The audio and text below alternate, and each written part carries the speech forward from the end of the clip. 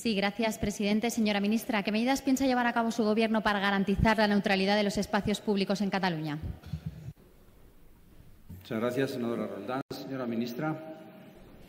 Gracias, señor presidente. Señora, señora Roldán, creo que podemos estar de acuerdo en, en algunas premisas que forman parte de la posición del Gobierno de España. En primer lugar, que el espacio público es de todos, de todas las ciudadanas y de todos los ciudadanos, y es a las instituciones públicas a quien corresponde precisamente garantizar el libre acceso de todos y cada uno de estos ciudadanos y ciudadanas aplicando una máxima que se puede simplificar como aquella que la libertad de uno llega hasta donde empieza la libertad de otro, o dicho de otra manera, que la libertad de uno no puede suponer de facto la expulsión del otro.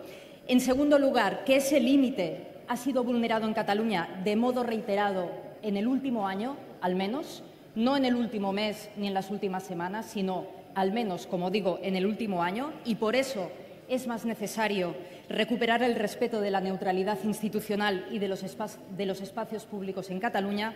Y, en tercer lugar, que la garantía de estos derechos no es una responsabilidad de los ciudadanos y ciudadanas, sino que es una responsabilidad de cada institución, de las instituciones públicas. El Gobierno de España ha planteado, como es conocido, porque hemos hecho declaraciones reiteradas al respecto, esta cuestión en los distintos foros de relación con el Gobierno de la Generalitat, a quien corresponde justamente, precisamente, esa responsabilidad en Cataluña. Permítame que le destaque dos.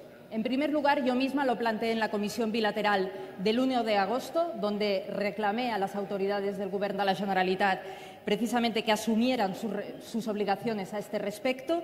Y el pasado jueves, en la Junta de Seguridad de Cataluña, se eh, elevaba esta reclamación a un acuerdo entre ambos gobiernos. Así, desde nuestro punto de vista, señora Roldán, este diálogo, el diálogo tan denostado, tan criticado algunas veces por su formación política y otras formaciones políticas, para el que tampoco tienen alternativa. Pero precisamente gracias a este diálogo hemos conseguido que el Gobierno de la Generalitat, uno, deje de negar la existencia de un conflicto en este ámbito, dos, asuma la vigencia del marco de derechos y libertades constitucionales y tres, asuma su obligación como Gobierno autonómico precisamente a garantizar el cumplimiento de esta neutralidad en los espacios públicos.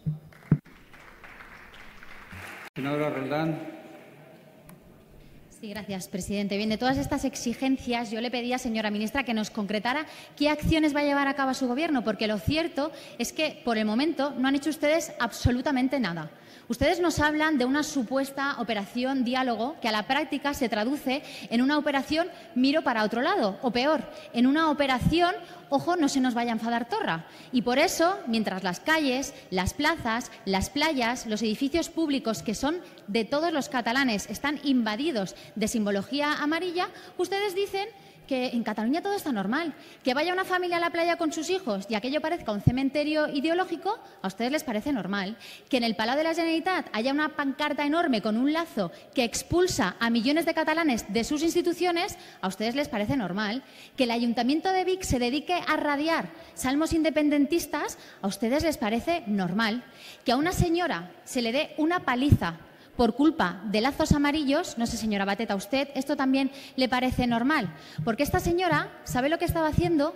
No estaba haciendo de gorrilla, como nos dijo su compañero, el señor Ábalos.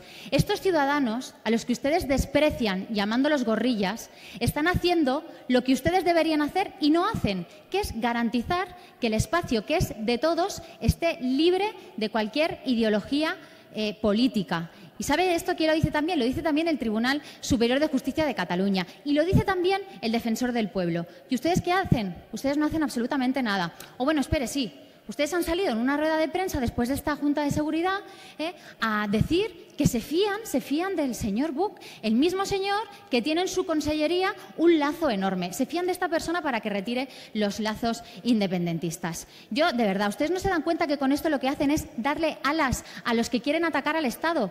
Ustedes no se dan cuenta que cuando el señor Marlasca dice que hay lealtad y sintonía, están atacando y están desprotegiendo a los catalanes de verdad, o sea, lealtad y sintonía. Son tales que hoy, 11 de septiembre, la Diada de Cataluña, resulta que millones de catalanes no han podido ir no han podido ir a una fiesta que encima están pagando de su bolsillo. Es que su propio partido no ha podido acudir a los actos de la diada porque los expulsan. Expulsan a la mitad de Cataluña, expulsan a sus propios votantes y ustedes siguen diciendo que todo es normal. Pues mire, a nosotros no nos lo parece. Tienen a media Cataluña abandonada por su afán de querer dormir una noche más en la Moncloa. Y mientras ustedes siguen con su bochornosa pantomima de la normalidad, el señor Torra y los suyos siguen adelante con su golpe.